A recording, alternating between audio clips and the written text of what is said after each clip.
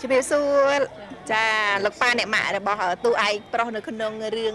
ចាគុំប្រុសកំពលឺប្រច័នពេញបរមីក៏ដូចជានៅក្នុងភាពយន្តចម្រៀងជីវិតក្មេងវត្តនៅក្នុងថ្ងៃនេះចា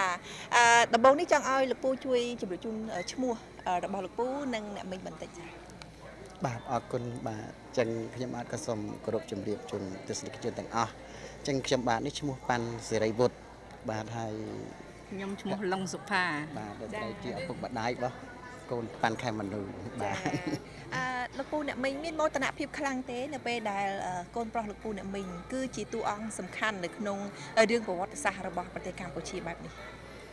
បាទនិយាយរួមតែក្នុងអារម្មណ៍ហ្នឹងគឺរំភើបរីករាយណាស់ហើយជាមហាកិត្តិយសដ៏ឧត្តមឧត្តមណាស់ដែលកូនប្រុសមានភ័ព្វវាសនា បានសម្ដែងតួវីរៈបុរសខ្មែរតំណាងឲ្យវីរៈបុរសខ្មែរគឺសម្ដេចតេជោ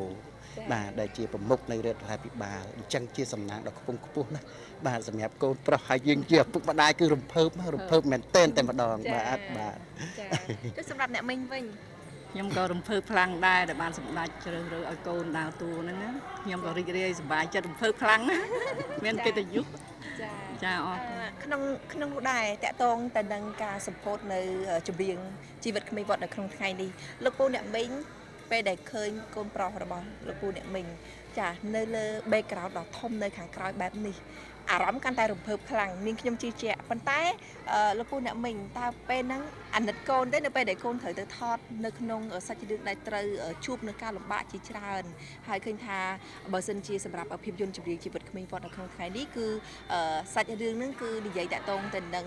ជីវិតរបស់សម្ដេចកែមហាស្នាបយុហ៊ុនសែនហ្នឹងគឺកំឡុងពេលដែលគាត់ទៅសិក្សាប៉ុន្តែសម្រាប់រឿងមួយទៀតគឺរឿងកូនប្រុសក្រំពលឺប្រច័នពេញបារមីដែលគាត់បានសម្ដែងហ្នឹងគឺគាត់ត្រូវចាចូលព្រៃក៏ដូចជាចុះទឹកថតគឺសកម្មភាពនៃការថតហ្នឹងគឺលំបាកខ្លាំងមែនតើលោកពូអ្នកមិញអាណិតកូនខ្លាំងទេក្នុងនាមជាឪពុកម្ដាយបាទអរគុណណាស់នៅពេលដែលយើងខ្ញុំបានទស្សនាឈុតខ្លីអំបញ្ញមិញនេះបាទធ្វើឲ្យទប់ទឹកភ្នែកអត់បានទេ គឺថាអាណិតស្រឡាញ់ប៉ុន្តែអ្វីដែលល្អបំផុតនោះគឺ ជំរុញទឹកចិត្តរបស់យើងដែលបំងប្រាថ្នា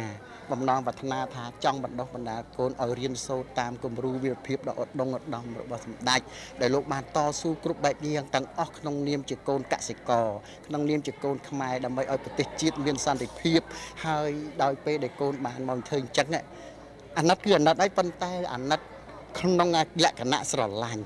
បាទស្រឡាញ់ព្រោះថាសម្ដេចលោកលះបង់ជាងនឹងទៀតបាទអញ្ចឹងឲ្យកូនរៀនសូត្រនៅគំរូវីរភាពដ៏ដងដមនេះគឺថារំភើបសប្បាយរីករាយហើយជាបំណងប្រាថ្នារបស់ឪពុកនឹងគឺចង់ឲ្យកូនរៀនសូត្រអញ្ចឹងស្រឡាញ់ស្រឡាញ់ឲ្យកូនរៀនសូត្រអញ្ចឹងបាទចា